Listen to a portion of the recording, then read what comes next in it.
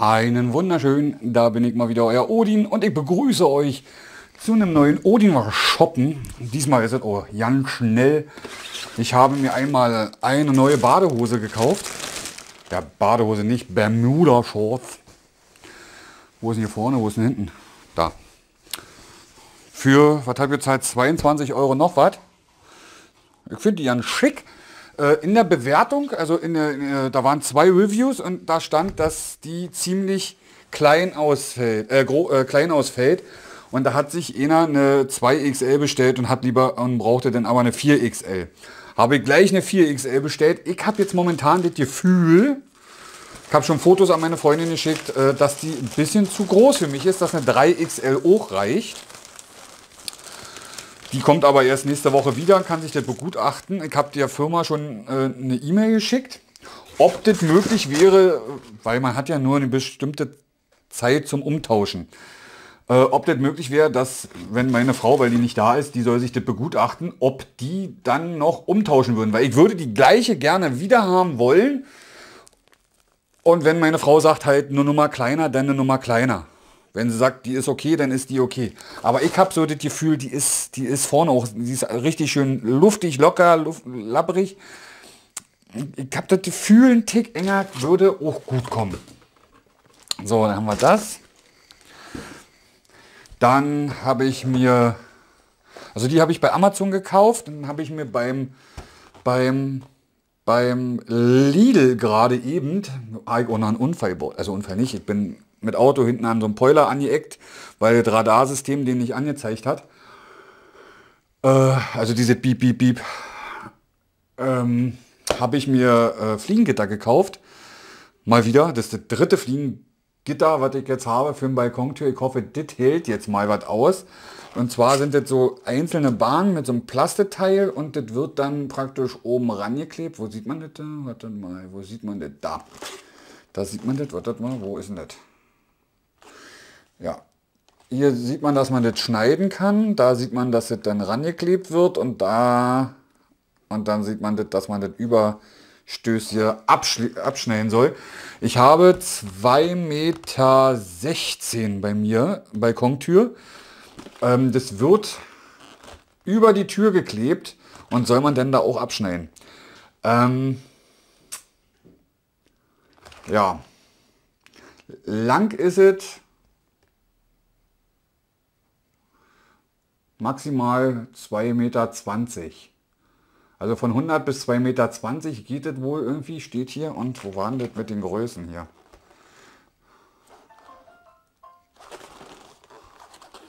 Ich habe hier irgendwo noch die, da ach, hier unten.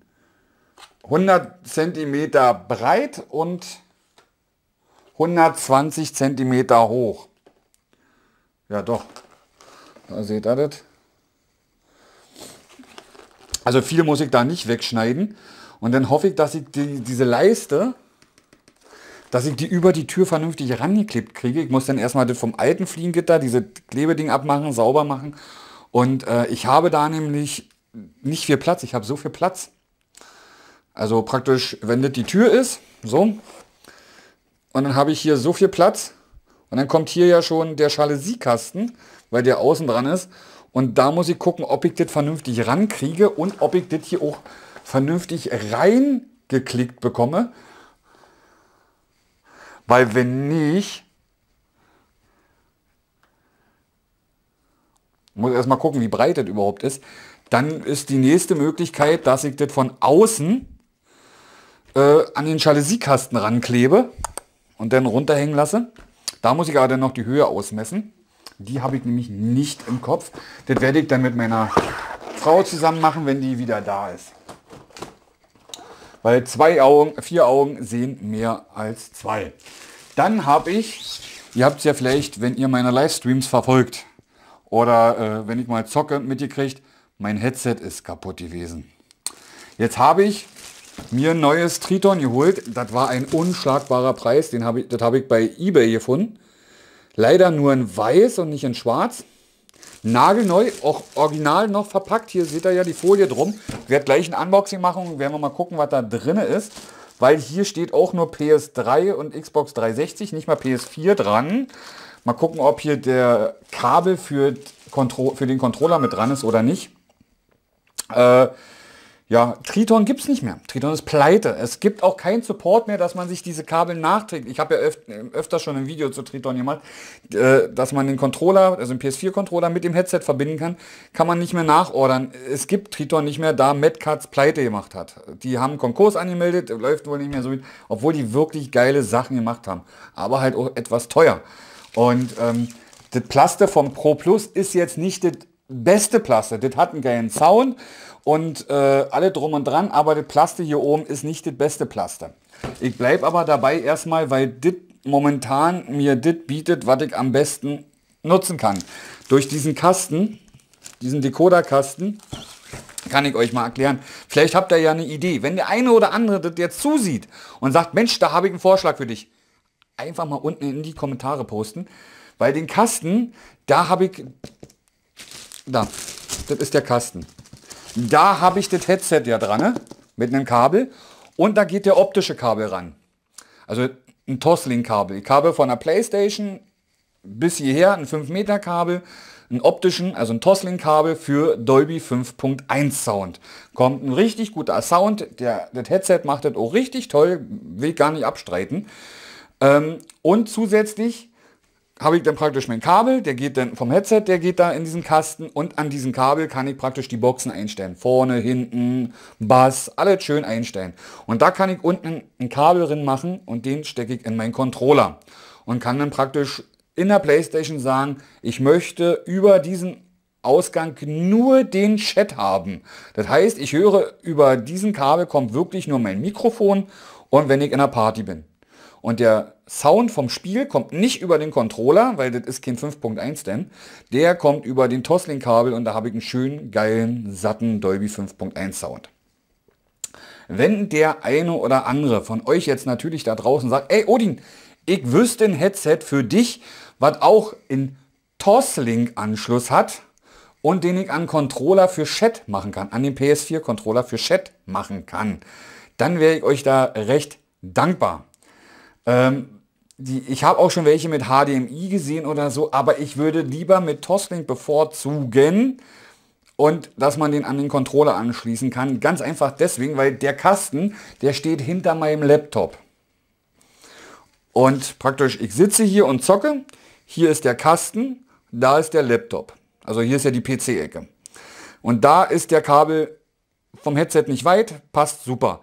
Und wenn ich das am PC nutzen wollen würde, wenn ich da mal einen Stream mache oder ein Hangout mache oder irgend, irgendwas aufnehme oder meine, ich brauche ja zwischendurch mal die Kopfhörer, wenn es hier ein bisschen lauter ist, wenn die Kleine rumtobt oder äh, was weiß ich, wenn Frauchen Film guckt und ich äh, gerade meine Aufnahmen bearbeite oder so, da setze ich mir auch das Headset auf und dann brauche ich von dem Kasten nur USB am PC ranmachen und ich habe den PC-Sound auf dem Headset.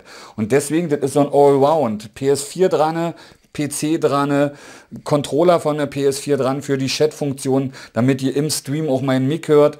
Deswegen habe ich mir unbedingt dieses nochmal und bei dem Preis, ey, was habe ich bezahlt? 55 Euro habe ich bezahlt. 55 Euro für nagelneue Triton Pro Plus. Ja, also ich finde es geil. Die wollten jetzt noch mal ins rausbringen. Jetzt kommt Triton noch mal mit so einem 7.1 kamen sie noch. Ich, das wird auch noch rauskommen. Ich denke mal, das wird alle der Konkursverwalter machen. Leider kann man da nur sagen, Rest in Peace, also Ruhe in Frieden, Medcards. Echt schade. Ihr habt echt geile Sachen gemacht. Manche Sachen etwas teuer, aber halt wirklich geile Sachen gemacht. Die wollten ja auch eine, eine, eine, eine äh, äh, lebenslange Garantie ein richten und das ging wohl mit dem deutschen Staat nicht. Hatte ich damals mir mal durchgelesen. Aber die haben mir, ich habe da angerufen, habe gesagt, ey, weil bei meinem anderen, beim Schwarzen war das Mikrofon kaputt. Da ist der Plaste hier kaputt gegangen. Von hier vorne vom Mikrofon sage ich, ey, das Plaste. Habe ich Fotos gemacht, habe ich hingeschickt per E-Mail äh, an den Support. Ja, ist kein Problem, wir schicken sofort neue draus. Bumm, drei Tage, nicht mal drei Tage später war das Mikrofon da. Und ich habe gesagt, wo die PS4 rauskam, sagt, ey Leute, ich äh, würde gerne einen Controller, gibt's da was? Ja, da haben wir ein Kabel. Wir schicken dir den sofort zu. Ich brauchte nichts bezahlen, nichts. Kam mir der, kam der Kabel nach Hause, ich konnte meinen Controller schön mit dem Headset verbinden. Erste Sahne. Dann, was war noch? Dann hatte ich noch eh mal, was war noch kaputt? Ich glaube, ich glaube, ich hatte schon mal oben was kaputt und dann haben sie mir auch komplett das Headset umgetauscht. Ohne, ohne Wenn und Aber. Also das fand ich echt. Also Kundenzufriedenheit war ich mit, mit Triton. Erste Sahne. Kann ich wirklich sagen, in der, ich habe das Schwarze habe ich jetzt, boah, seit, boah, seit 2013 oder 14, glaube ich.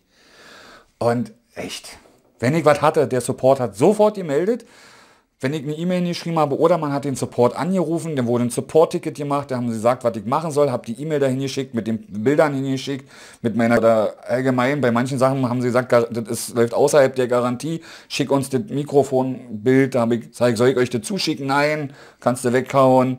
Äh, weil war ja nur Plastik, war ja nur noch der, Stab und das, äh, das Mikrofon und das Plasterhäuser war alle komplett kaputt. Also wirklich Kundenzufriedenheit, Medcards erste Sahne. Und jetzt bin ich händeringend am Suchen nach was Neuem. Ja, das ist schon wieder ein Odiner Shoppen viel zu lang. Oh, es tut mir leid. Aber ihr wisst ja, wenn ich immer im Quatschen bin. So, jetzt werden wir gleich mal ein Auspackvideo machen. Ein Hardware, Hardware-Check werde ich nicht machen, weil ich habe das, so ein Headset bloß in Schwarz schon ewig im Einsatz und ich habe dazu einen Hardware-Check schon gemacht. Ich möchte halt nur gerne mit euch auspacken, um zu gucken, was da drin ist und dass mal wieder ein Unboxing kommt. Ja, da freuen sich auch einige, die haben schon viele gefragt, mach doch mal wieder bitte ein Unboxing, bitte, bitte, bitte. Ja, jetzt habe ich die passende Gelegenheit und kann mal wieder ein Unboxing machen. Dann würde ich mich jetzt hier erstmal verabschieden. Oh Gott, Entschuldigung Leute. Ahoi, sagt euer Odin.